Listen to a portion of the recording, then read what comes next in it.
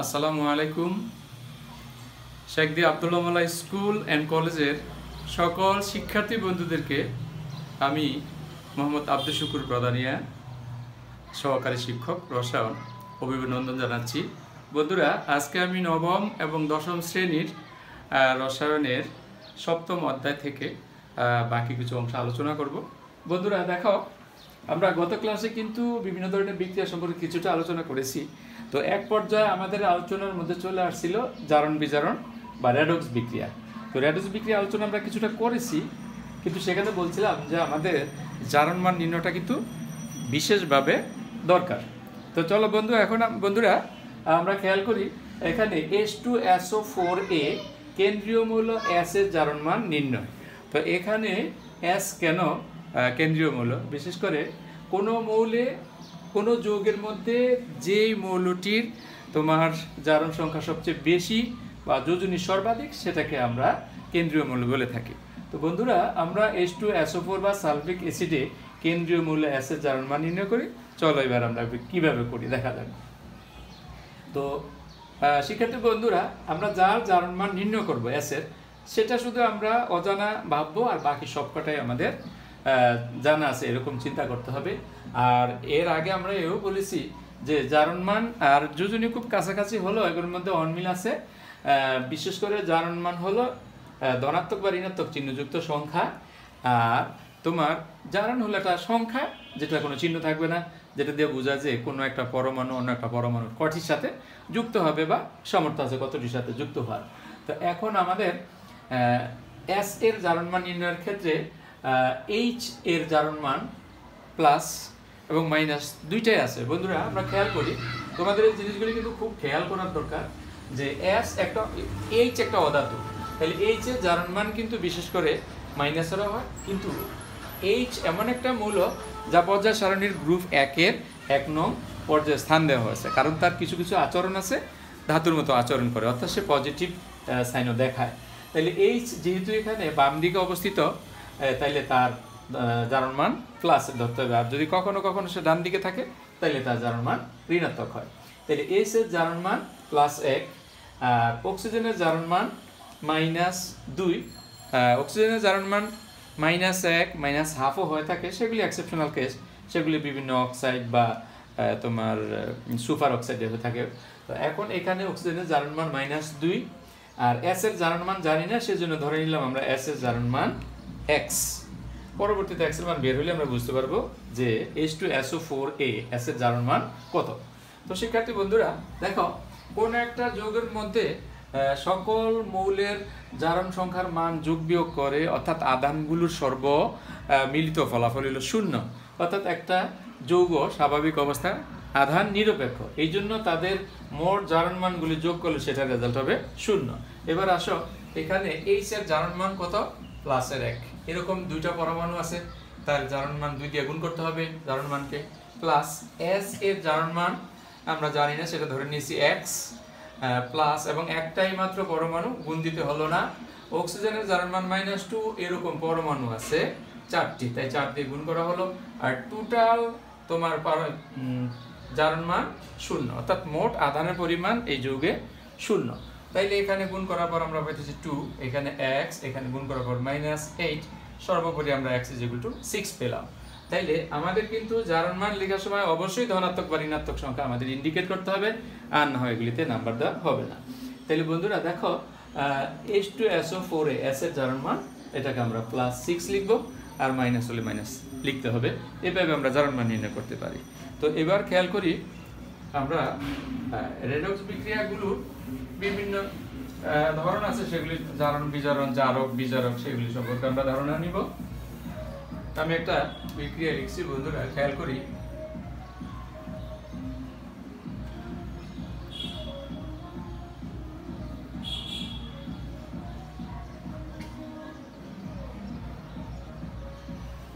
বন্ধুরা, এটা একটা প্রতিস্থাপন বিক্রিয়া। এবং প্রতিস্থাপন বিক্রিয়াতে যে জারণ বিজারণ ক্রিয়া সংগঠিত হয় বা এটা যে একটা রেডক্স বিক্রিয়া, সেটা সম্পর্কে আমরা আলোচনা করব। তাহলে এখানে জিঙ্ক পরমাণু, কপার সালফেটের কপারকে সরিয়ে নিজের সে স্থান দখল করবে। তাইলে হবে জিঙ্ক সালফেট, আর এখান থেকে প্রতিস্থাপিত হবে কপার। তো বন্ধুরা, তো এই দুইটা ধাতুর মধ্যে বিশেষ করে এটা সক্রিয়তা কম, এটা সক্রিয়তা বেশি। তো বিশেষ করে অধিক সক্রিয় ধাতু কম সক্রিয় ধাতুকে কোনো যৌগ থেকে সরিয়ে সেই জায়গা দখল করলে সেটার নাম হলো তোমার প্রতিস্থাপন বিক্রিয়া। এখন এটা একটা প্রতিস্থাপন বিক্রিয়া। তারপরে আমরা এখানে দেখব, দেখাবো যে এটা একটা র্যাডক্স বিক্রিয়া কিনা, অর্থাৎ এখানে জারণ বিজারণ ক্রিয়া সংগঠিত হয়েছে কিনা, এবং জারণ বিজারণ ক্রিয়াটা একই সাথে সংগঠিত হয় কিনা সেটাও আমরা দেখব। তো বিশেষ করে বন্ধুরা, আমরা খেয়াল করি যে সকল পরমাণু বা মূলকের জারণ সংখ্যার মান পরিবর্তন হয়েছে সংখ্যা পরিবর্তন হয়, সেগুলি নিয়ে আমরা আলোচনা করলে জারণ বিজারণ পেয়ে যাব। কিন্তু যে সকল আয়ন বা মূলক বা পরমাণুর জারণ মানের কোনো পরিবর্তন হয় না, সেগুলি হলো দর্শক আয়ন বা দর্শক আয়নে। এখন খুব করে আমরা দেখি এসও ফোর এর জারণ মান এখানে কিন্তু মাইনাস টু এটা সাধারণত আধান হইল মাইনাস টু এটারও মাইনাস টু এটার কোনো পরিবর্তন হয় নাই। তাহলে এটা নিয়ে আমাদের আলোচনা নাই। কিন্তু কফারের ক্ষেত্রে দেখো, শিক্ষার্থী বন্ধুরা, এই দুইটার মধ্যে একটা চেঞ্জ আছে। যখন কোনো পরমাণু বা মৌল কোনো যৌগের মধ্যে থাকে, তখন তার জারণ মান থাকে। আর যখন সে এককভাবে থাকে, তখন তার জারণ মান থাকে না। তখন জারণ মান শূন্য। এখানে যেহেতু কপার কপার সালফেটের ভিতরে আছে, তাহলে নিশ্চয়ই এখানে সে বন্ধন তৈরি করেছে। তো এখানে কপার সালফেটের সাথে যুক্ত হওয়ার জন্য দুইটা ইলেকট্রন ত্যাগ করে তোমার কপার আয়নে আগে রূপান্তরিত হয়েছে minus two electron is equal to copper two plus ion এরকম একটা আয়ন এখানে সালফেট আয়নের সাথে যুক্ত হয়েছে। তাহলে কপারের এখানে আয়ন সংখ্যা হইল দুই। কিন্তু আমাদের জারণ মানগুলি বা জারণ সংখ্যাগুলি হলো ধনাত্মক বা ঋণাত্মক চিহ্নযুক্ত সংখ্যা। এটা কিন্তু ধনাত্মক চিহ্ন ডান পাশে, এটা না, এটা হলো আদান সংখ্যা। কিন্তু আমাদের এখানে হবে ধনাত্মক বা ঋণাত্মক আদানযুক্ত সংখ্যা। তাইলে এটা জারণ মান প্লাস টু দেখো বন্ধুরা, যখন সে এককভাবে আছে, কোনো যৌগ থেকে বের হয়ে গেছে, তখন তার কোনো জারণ মান নাই, অর্থাৎ জারণ মান শূন্য। তাইলে এখানে কিন্তু তার মধ্যে একটা পরিবর্তন আসছে। তাইলে এখানে জারণ বিজারণের একটা অংশ আছে। বন্ধুরা, এবার আমরা খেয়াল করি, জিঙ্ক এখানে ছিল এককভাবে, কিন্তু এইখানে কিন্তু জিঙ্ক একটা যৌগের মধ্যে অবস্থান করছে। তাহলে খেয়াল করি, এখানেও কিন্তু তার জারণ সংখ্যা শূন্য। অর্থাৎ সে কোনো ইলেকট্রন ত্যাগ করে নাই, গ্রহণও করে নাই, নিরপেক্ষ অবস্থা আছে কিন্তু। এখানে যেহেতু জিঙ্ক যোগের মধ্যে আছে, তাহলে নিশ্চয়ই তাকে ইলেকট্রন আদান প্রদান বা সে আর একটা কিছু করতে হয়েছে। তাইলে এখানে তার জারণ মান হইল প্লাস টু আর এখানে তার জারণ মান শূন্য। তো যে সমস্ত মৌল বা মূলকগুলির মধ্যে জারণ মানের পরিবর্তন হয়, সেখানে আমাদের জারণ বিজারণ ক্রিয়া ঘটে, অর্থাৎ ইলেকট্রন আদান প্রদান ঘটে থাকে। তাহলে চলো বন্ধুরা, দেখি আমাদের এখানে জিঙ্কের কি অবস্থা। তাইলে জিঙ্ক বিক্রিয়কে এই অবস্থা আছে, যার জারণ সংখ্যা বা আধানের পরিমাণ শূন্য। যখন সে দুটা ইলেকট্রন ত্যাগ করবে, খেয়াল করি বন্ধুরা এখান থেকে যদি ইলেকট্রন বা ঋণাত্মক আদান কমিয়ে ফেলি, তাহলে তার মধ্যে পজিটিভ চিহ্ন দেখা দিবে। তখন হবে জেড এন টু প্লাস তাহলে এখানে ছিল সে জিঙ্ক পরমাণু, হয়েছে জিঙ্ক টু প্লাস আয়ন। আর এই দুইটা ইলেকট্রন গ্রহণ করছে, দেখো, এখানে আছে কপার পরমাণু না কপার টু প্লাস আয়ন। তো বন্ধুরা খুব খেয়াল করি আমরা আয়ন বা আধান লেখার সময় কিন্তু আমরা চিহ্নগুলি ডান পাশে দিয়ে দিই। আর আমরা যখন জারণ সংখ্যা লিখি বা জারণমান লিখি তখন কিন্তু চিহ্নটা বাম দিক দিয়ে দিই। তাহলে এটা যদি দুইটা ইলেকট্রন গ্রহণ করে হ্যাঁ, এতক্ষণ এটাতে কিন্তু তোমার এই উনত্রিশটা ছিল তোমার প্রোটন আর সাতাশটা ছিল ইলেকট্রন দুইটা ইলেকট্রন প্রবেশ করার পর উনত্রিশটা ইলেকট্রন উনত্রিশটা প্রোটন এখন এটা কিন্তু নিষ্ক্রিয় হয়ে গিয়েছে। অর্থাৎ তাহলে এই ইলেকট্রন ত্যাগ করা, এটা হলো জারণ, অর্ধ বিক্রিয়া, আর ইলেকট্রন গ্রহণ, এটি হলো বিজারণ, অর্ধ বিক্রিয়া।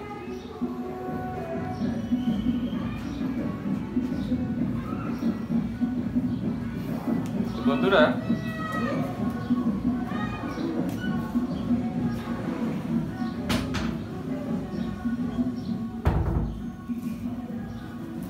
সরি বন্ধুরা। খেয়াল করি তাইলে, এখানে আমাদের দেখো এবার জারণ বিজারণ ক্রিয়াটা আমরা কীভাবে ব্যাখ্যা করব। উক্ত বিক্রিয়ায় কপার সালফেটে কপারের জারণ মান প্লাস টু আর উৎপাদ হইল জিরো আর জিঙ্কের বেলায় উৎপাদে জারণ মান শূন্য এবং উৎপাদে হলো বিক্রিয়কে শূন্য এবং উৎপাদে প্লাস টু এখন আমাদের বিশেষ করে যেটা ইলেকট্রন ত্যাগ করছে, সেটার কথা আমরা আগে বলব। বন্ধুরা, শিক্ষার্থী বন্ধুরা, খুব খেয়াল করি, উক্ত বিক্রিয়ায় বিক্রিয়কে জেডেন বা জিঙ্ক এর জারণ মান শূন্য এবং উৎপাদে দ্যাট ইজ জিঙ্ক সালফেট এটা জারণ মান হলো প্লাস টু অর্থাৎ এখানে জারণ মান বৃদ্ধি পেয়েছে। তো জারণ মান বৃদ্ধি পায় কখন? আমরা যদি এটা বুঝতে অসুবিধা হয়, তাহলে অবশ্যই একটু রাফ করে নিব। বন্ধুরা, খেয়াল করে দেখো, সোডিয়ামের মধ্যে এগারোটা ইলেকট্রন, এগারোটা প্রোটন, এই অবস্থায় তার আদান নিরপেক্ষ এটা। তো যখন সে একটা ইলেকট্রন ত্যাগ করে, তখন দেখো তার মধ্যে একটা ইলেকট্রন কম থাকায় সোডিয়ামের মধ্যে দশটা ইলেকট্রন দশটা প্রোটনকে নিষ্ক্রিয় করতে পারে একটা প্রোটন বেশি থাকা সেটা এখানে প্লাস চিহ্ন দেখা দেয়। তো আমরা এই উদাহরণটা থেকে যদি ওখানে বুঝতে অসুবিধা হয়, এখান থেকে দেখে নিব যে ইলেকট্রন ত্যাগ করলে জারণ সংখ্যা বাড়ে। তো এখানে যেহেতু জারণ সংখ্যা বৃদ্ধি পেয়েছে, তাইলে এখানে কিন্তু কি করেছে? ইলেকট্রন ত্যাগ করেছে। কটা ইলেকট্রন ত্যাগ করেছে? দুইটা ইলেকট্রন ত্যাগ করেছে। অর্থাৎ এখানে জিঙ্কের জারণ মান হ্রাস পেয়েছে, অর্থাৎ জিঙ্ক পরমাণু। শিক্ষার্থী বন্ধুরা, আমরা খেয়াল করব, জিঙ্ক পরমাণু। দুইটি ইলেকট্রন ত্যাগ করে জিঙ্ক টু প্লাস আয়নে বা ধনাত্মক আয়নে পরিণত হয়, যা একটি জারণ অর্ধ বিক্রিয়া। অপরদিকে উক্ত বিক্রিয়ায় কপার সালফেট এ বা বিক্রিয়কে কপার এর জারণমান প্লাস টু এবং উৎপাদে কপারের জারণমান জিরো। অর্থাৎ এখানে জারণমান হ্রাস পেয়েছে। তো শিক্ষার্থী বন্ধুরা জারণমান হ্রাস পাওয়াকে বলা হয় বিজারণ বিক্রিয়া। কারণ সেখানে দেখো ইলেকট্রন গ্রহণ করে, যেটাকে গ্রহণ করাকে বলা হয় বিজারণ বিক্রিয়া।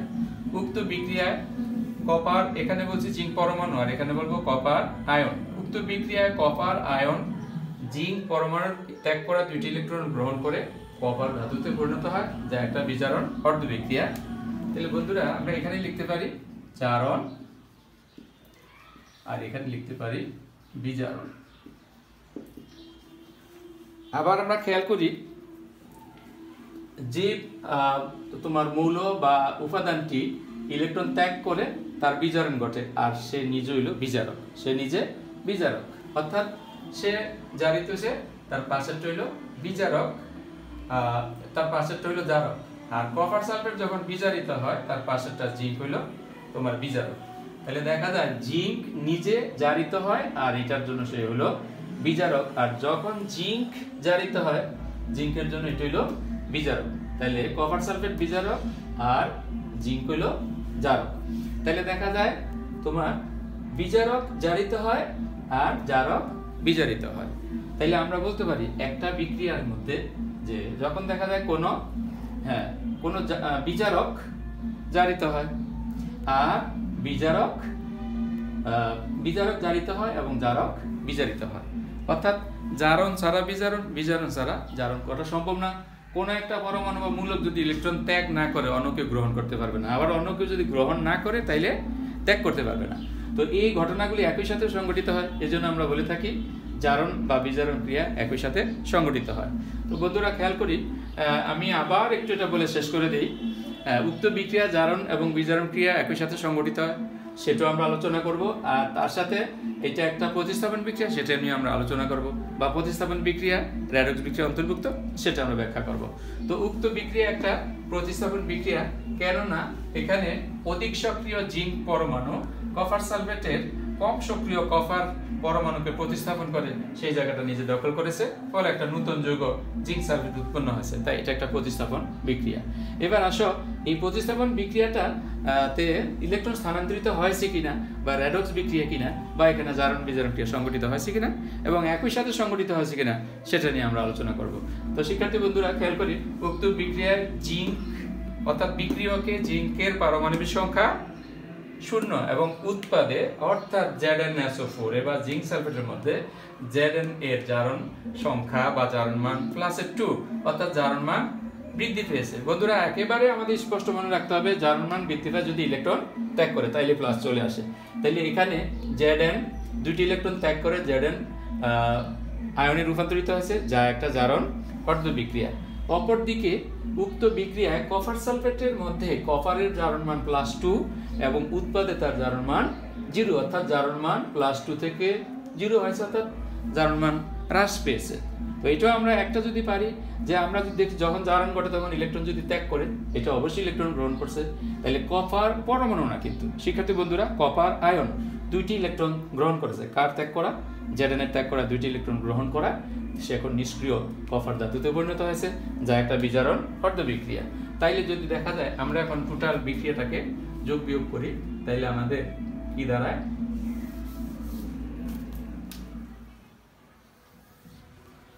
তাইলে zinc plus copper two plus ion is equal to zinc two plus ion plus copper এই দ্বারা তো শিক্ষার্থী বন্ধুরা, এখন তোমাদের মনের মধ্যে একটু কেমন যেন লাগতেছে যে উপরের এই বিক্রিয়ার সাথে তো বিক্রিয়াটার কোনো মিল নেই। অর্থাৎ এখানে এস উপর একটা অংশ এখানে এবং এখানে, এটা নাই। তো এই আয়নগুলি হইল তোমার দর্শক আয়ন, কারণ এখানে তাদের কোনো বিক্রিয়া কোনো ভূমিকা নেই। এই জন্য এই আয়নগুলিকে আমরা দুই দিকে যে কোনো মুহূর্তে আনতে পারি, আবার বাদ দিয়ে দিতে পারি। তাইলে আমাদের উক্ত বিক্রিয়ার উভয় দিকে যদি আমরা সালফেট একটা আয়ন যোগ করে নিই, তাইলে আমাদের কি দ্বারা দেখো বন্ধুরা? তাহলে Z N plus copper two plus ion তার সাথে যুক্ত করলাম একটা sulphate two minus ion mine is equal to Z N two plus ion তার সাথে যুক্ত করলাম একটা sulphate two minus ion plus copper এখন পরের লাইন দিয়ে আমরা লিখতে পারি, বন্ধুরা, খেয়াল করো।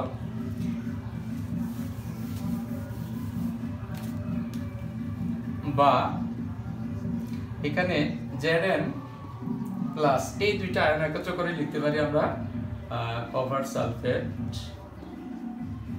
আর ডান পাশে এই, দেখো আমরা এই দুইটা আয়ন একত্র করে লিখতে পারি জিঙ্ক সালফেট প্লাস কপার তাইলে এবার আমরা পুরো বিক্রিয়াটা আরেকবার বলে শেষ করে দিচ্ছি। শিক্ষার্থী বন্ধুরা, আমরা খেয়াল করি উক্ত বিক্রিয়া জিঙ্ক পরমাণু জিঙ্ক পরমাণু দুটি ইলেকট্রন ত্যাগ করে জেড এন টু প্লাস আয়নে পরিণত হয়, যা একটা জারণ বিক্রিয়া।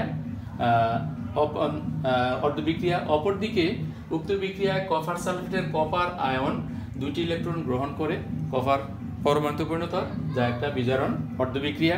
তাইলে সার্বিকভাবে বলা যায়, উক্ত বিক্রিয়ায় জিঙ্ক জারিত হয়ে জিঙ্ক সালফেটে রূপান্তরিত হয়েছে, যেখানে কপার সালফেট জারক। অপরদিকে উক্ত বিক্রিয়ায় কপার সালফেট বিজারিত হয়ে কপার ধাতুতে পরিণত হয়েছে, যেখানে বিজারক হলো জিঙ্ক। অতএব দেখা যায় যে উক্ত বিক্রিয়ায় জিঙ্ক বিজারিত হয়, বিজারক হিসেবে কাজ করে কপার সালফেট, এবং কপার সালফেট বিজারিত হয়, বিজারক হিসেবে কাজ করে জিঙ্ক সালফেট। অর্থাৎ তোমার জারক ছাড়া জারণ বা বিজারক ছাড়া বিজারণ হইতে পারে না। যেহেতু একে অপরের জারক বা বিজারক, তাই জারণ এবং বিজারণ ক্রিয়া একই সাথে সংগঠিত হয়। অতএব আমরা উপরোক্ত আলোচনা থেকে বলতে পারি বন্ধুরা। শিক্ষার্থী বন্ধুরা, খেয়াল করি, একই সাথে জারণ বিজারণ ক্রিয়া সংগঠিত হয়। এরপর বিশেষভাবে অনুরোধ করা যাচ্ছে যে কষ্ট বিধবা ও প্রতিবন্ধী ভাতার আবেদন ফরম জমা দেওয়া হচ্ছে আবেদন ফরমটি জমা দেওয়ার স্থান শিক্ষার্থী বন্ধুরা, আমরা দেখো অষ্টম শ্রেণীতে আরও কিছু বিক্রিয়া আমরা পড়ে এসেছি। সংযোজন বিক্রিয়া দুই বা ততোধিক মৌল বা যৌগ একত্রে বিক্রিয়া করে যদি একটি নতুন যৌগ গঠন করে, তখন তাকে সংযোজন বিক্রিয়া বলে। যেমন হাইড্রোজেন প্লাস পানি is to hydrogen plus oxygen is to পানি। এগুলি আমরা অষ্টম শ্রেণীতে পড়েছি। এরপরে আছে তোমার বিয়োজন বিক্রিয়া। সেই বিক্রিয়াতে অর্থাৎ কোনো একটি যৌগ যদি তার উপাদান মৌল বা যৌগে বিভক্ত হয়ে যায়, সেটাকে বলা হয় তোমার বিয়োজন বিক্রিয়া। তারপরে তো প্রতিস্থাপন আমরা পড়লামই, দহন বিক্রিয়া। তো দহন বিক্রিয়া বিশেষ করে কোনো মৌল বা যৌগ যখন কোনো বাতাসের অক্সিজেনের সাথে পুরে সম্পূর্ণভাবে পুরে যায়, তখন যোগের মধ্যে যে মৌল থাকে, সেটার অক্সাইডে রূপান্তরিত হওয়াকে বলা হয় দহন বিক্রিয়া। যেমন সিএস ফোর যেটা আমরা চুলাতে জ্বালাই খেয়াল করো বন্ধুরা অক্সিজেন উৎপন্ন হবে। এই জাতীয় সকল বস্তু পোড়ানোর পরে কিন্তু কার্বন ডাইঅক্সাইড আর জলীয় বাষ্প উৎপন্ন হয়ে থাকে। তো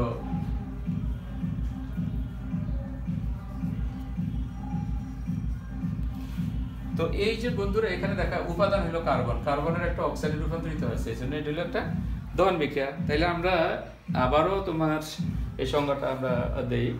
যে যখন কোনো মৌল বা যৌগ, কোনো অক্সিজেনে বা বাতাসের অক্সিজেনের মধ্যে সম্পূর্ণ পুরে ওই যৌগের কোনো মৌলের উপাদান অক্সাইডে রূপান্তরিত হয়, তখন এই বিক্রিয়াকে দহন বিক্রিয়া বলে। তো এখন আমাদের এই নন রেডক্স বিক্রিয়া আমরা আলোচনা করেছিলাম যে প্রশমন বিক্রিয়া একটি নন রেডক্স বিক্রিয়া, কারণ এখানে ইলেকট্রন আদান প্রদান হয় না বা স্থানান্তরিত হয় না। এছাড়া আরও কয়েকটি বিক্রিয়া আছে যা নন রেডক্স বিক্রিয়া হিসেবে পরিচিত। তো আমি একটা বিক্রিয়া লিখি বন্ধুরা খুব খেয়াল করে আমরা। Sodium chloride plus silver nitrate is equal to, বন্ধুরা এটা কিন্তু অ্যাকোয়া অ্যাকোয়া এটা বিক্রিয়া করে হবে তোমার sodium nitrate plus silver chloride. তো এখন বন্ধুরা খুব খেয়াল করে দেখি, এটা হলো অ্যাকোয়া আর এটা হলো এস এসও দিতে পারো। তোমরা ইচ্ছা করলে নিচের দিকে তীর চিহ্ন দিলে অদক্ষেপ পরে অর্থাৎ তলানি পরে সেটা আমরা বুঝাইতে পারি। তো বন্ধুরা, উক্ত বিক্রিয়া যে তোমরা যে জিনিসগুলি লক্ষ্য করবে, দেখো, সোডিয়াম ক্লোরাইড এবং সিলভার নাইট্রেট, এই দুইটাই কিন্তু তোমার পানিতে দ্রবীভূত দুটি যৌগ। এই দুইটি যৌগ বিক্রিয়ার পর দুইটি যৌগ উৎপন্ন করেছে, যার মধ্যে একটি জলীয় দ্রবণে দ্রবীভূত অবস্থায় আছে, অন্য একটি কিন্তু কঠিন আকারে বিক্রিয়ার তল পাত্রে তলদেশে কঠিন আকারে অধক্ষিপ্ত হয়েছে। তো এখানে যেহেতু একটা উপাদান তলানি পড়েছে বা অধক্ষিপ্ত আছে, এই জন্য এই বিক্রিয়াটার নাম দেওয়া আছে অধক্ষেপণ বিক্রিয়া। তাইলে আমরা কীভাবে সংজ্ঞায়িত করতে পারি? শিক্ষার্থী বন্ধুরা, খেয়াল করে দেখো অ্যাকোয়া লেখার অর্থই হলো পানিতে দ্রবণীয়। তাইলে যখন দুটি যৌগ একই দ্রাবকে দ্রবীভূত হয়, তারা বিক্রিয়া করে যদি কোনো যৌগ উৎপন্ন করে, তাদের মধ্যে যদি কোনো একটি কঠিন আকারে অধক্ষিপ্ত হয় বা তলানি পড়ে, তখন এই বিক্রিয়াকে অধক্ষেপণ বিক্রিয়া বলে। তো বন্ধুরা, আবার বলতেছি দেখো, যখন কোনো রাসায়নিক বিক্রিয়ায় দুইটি মৌল একই দ্রাবকে দ্রবীভূত থাকে এবং তাদের বিক্রিয়ার ফলে উৎপন্ন যৌগগুলোর মধ্যে যদি একটি কঠিন আকারে অধক্ষিপ্ত হয় বা পাত্রের তলায় তলানি পড়ে বা আলাদা হয়ে যায়, তখন এই বিক্রিয়াকে বলা হয় অধক্ষেপণ বিক্রিয়া। তাহলে আবারও বন্ধুরা আমি সর্বশেষ আবারও সংজ্ঞায়িত করছি, কারণ এগুলি একটু কঠিন ধরনের, তোমরা ভাষাগুলি সুন্দরভাবে চয়ন করবে, খেয়াল করে। হ্যাঁ বইয়ের মধ্যে অতটুকু গুছানো নাই। তারা বিভিন্নভাবে লম্বা করে বলেছে উদাহরণের মাধ্যমে। কিন্তু আমরা কিন্তু সংজ্ঞায়িত করার চেষ্টা করছি। তো বন্ধুরা, খেয়াল করি, যে রাসায়নিক বিক্রিয়ায় দুইটি মৌল একই দ্রাবকে দ্রবীভূত অবস্থায় থাকে এবং বিক্রিয়ার পরে উৎপন্ন যৌগগুলোর মধ্যে কোনো একটি কঠিন আকারে তলানি পড়ে অথবা অদক্ষেপ আকারে জমা হয় বা অদক্ষিপ্ত হয়, তখন এই রাসায়নিক বিক্রিয়াকে অদক্ষেপণ বিক্রিয়া বলে। তো বন্ধুরা আমরা আজকে এখানেই শেষ করব। এখানে এই চ্যাপ্টার আরও কিছু গুরুত্বপূর্ণ কথা রয়েছে বা জানতে হবে আমাদের। সেগুলি আমরা পরবর্তী ক্লাসে আলোচনা করব। তোমরা এগুলি ভালোভাবে আয়ত্ত করবে এবং খাতায় লিখে বিক্রিয়াগুলিকে সংজ্ঞায়িত করবে এবং কোনটা ইলেকট্রন গ্রহণ করল, কোনটা ইলেকট্রন ত্যাগ করল বা কোনটা জারক, কোনটা বিচারক এগুলি চিহ্নিত করবে। এগুলি তোমাদের বাড়ির কাজ রইল এবং এগুলির ভিত্তিতে তোমরা এই অ্যাসাইনমেন্টের কাজগুলি সুন্দরভাবে সম্পন্ন করবে। সেই প্রত্যাশা রেখে আজকে আমি তোমাদের কাছ থেকে বিদায় নিলাম। আবারও দেখা হবে সে আশায়। আসসালামু আলাইকুম।